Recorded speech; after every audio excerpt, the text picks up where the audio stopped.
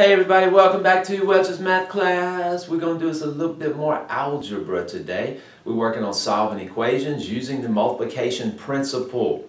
Remember, the multiplication principle says we can multiply or divide an equation by anything as long as we multiply or divide both sides of the equation by the same thing. Okay? So we've got a couple of equations up here and I can see it. You're already panicking. I can see it the fractions. Fractions really have a tendency to cause people to panic.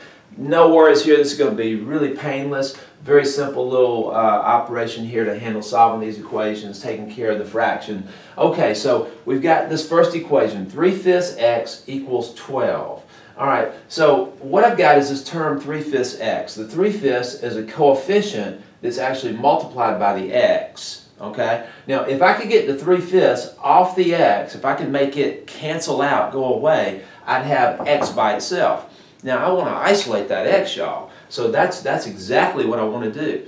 So what I think I'll do is I'll come over here to this left side of the equation and I'll multiply on this side of the equation by the reciprocal of 3 fifths. Now, why the reciprocal of 3 fifths? Well, essentially what happens is when, when I flip that 3 fifths over and I do this multiplication, the 5 cancels the 5 and the 3 cancels the 3. And, and so it, the, the reason I'm going to multiply by the reciprocal is to make the whole fraction cancel itself out, leaving me with the x by itself. Now, I can't forget the right side of the equation, because remember, whatever I did on the left side, I must do the same thing on the right side. Okay, so I'm going to come over here on this side of the equation. I'm going to take my 12, okay, and I'm going to multiply that times 5 thirds also. Because remember, if I multiply by 5 thirds on one side, I must multiply by 5 thirds on the other side. All right, now you get into some fraction skills here, some real fraction skills. To multiply this right here, first of all, I'm going to take my whole number and put it over a 1. Any whole number can be written as a fraction by writing a 1 underneath it.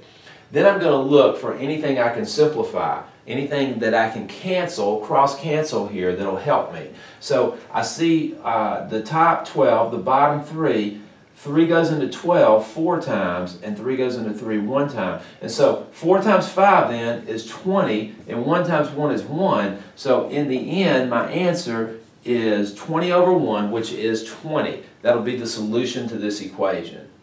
All right, I want you to pause the video for a second um, and pop into this one and see what you can do with this one, and then we'll come back and work it together. Hey, welcome back everybody. Let's, uh, let's take a look at this quick equation here ourselves. We've got negative 2 fifths x equals negative 15. The negative 2 fifths, you should have known, is a uh, coefficient on the x. We'd like to get rid of the negative 2 fifths. All we're going to do to get rid of that negative 2 fifths, and I'm going to create myself a little space here by erasing our previous problem. All we need to do to, uh, to get rid of that negative 2 fifths is to come in and multiply by negative 5 over 2. Okay? So I'll come there, negative 2 fifths x.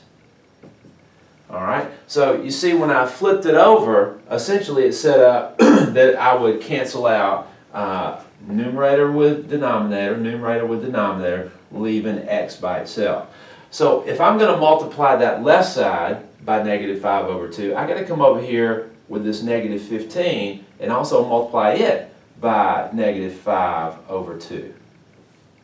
All right, now I'm going to put my negative 15 over a 1 to get a little bit more of a fraction feel right there.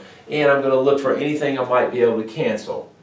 Dad, gone it, I don't see anything. I don't see anything that'll cancel. The 15 won't cancel with the 2 the 5 with the 1, nothing there. So I just got to work this out. I'll multiply straight across here. Negative 15 times negative 5. Now, a negative times a negative is going to be a positive. Um, 15 times 5 is actually going to work out to be 75. And then 1 times 2 is 2. Now, that is a simplified fraction. Uh, 75 over 2 is a simplified fraction. If we wanted to change it to a mixed number, we can by dividing 2 into 75 and uh, we wouldn't do it as a decimal, we would do it as a mixed number. So 2 into, into 7 goes 3, uh, there's a 6, 2 into 15 goes 7, 7, there's a 14, there's a 1 half. So if you list your answer as an improper fraction in simplest form, it'll be 75 over 2.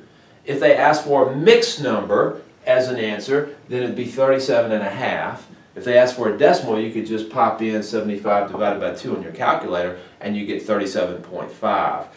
It really comes down to identifying how they want the answer. They may ask for just a simplified fraction here. They may ask for a mixed number, simplified here. Or they may say, give your answer as a, uh, as a decimal number. You, in critical thinking, you always want to identify the question and how whoever's asking the question wants the answer to be expressed.